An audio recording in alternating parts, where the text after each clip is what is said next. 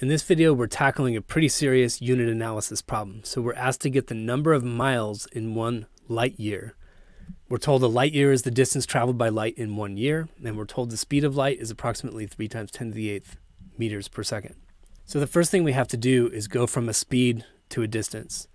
And we're really just using distance equals rate times time here, or displacement is velocity times time. So our distance is 3 times 10 to the 8th meters per second multiplied by one year. And now we can start dealing with the unit analysis here. And my first goal is to convert a year into seconds. So I multiply by the conversion factor. One year is 365 days, and my years cancel. Then I convert the days to hours. One day is 24 hours.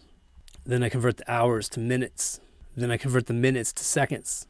And now that my time units have changed to seconds, I can see in my calculation 3 times 10 to the 8th meters per second, multiplying this time quantity is going to cancel the seconds and leave me just with meters. So if we were to smash the numbers at this point, we would have a light year written in meters, but we still need to convert the meters to miles. And the only clue we're given here is that one inch is equal to 2.54 centimeters.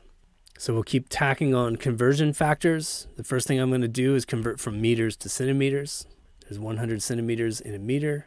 That meters was in the numerator. That's why I put it in the denominator in my conversion factor, and those cancel. Then I use my 2.54 centimeters for one inch. And the centimeters cancel. The rest I have to just remember. There's 12 inches in one foot. And the inches cancel. And finally, I remember that there's 5,280 feet in a mile.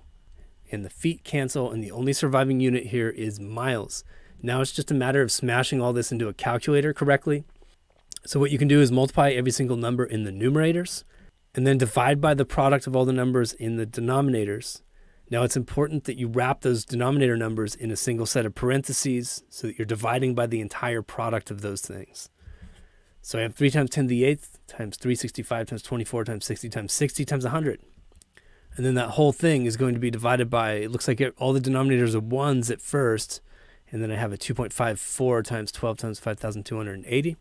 And when I run the numbers on this, I get 5.88 times 10 to the 12 miles. If you enjoyed this video or at least found it useful, check out another one by clicking one of the links on the left, or click the Zak's Lab logo on the right to explore dozens of physics and math playlists.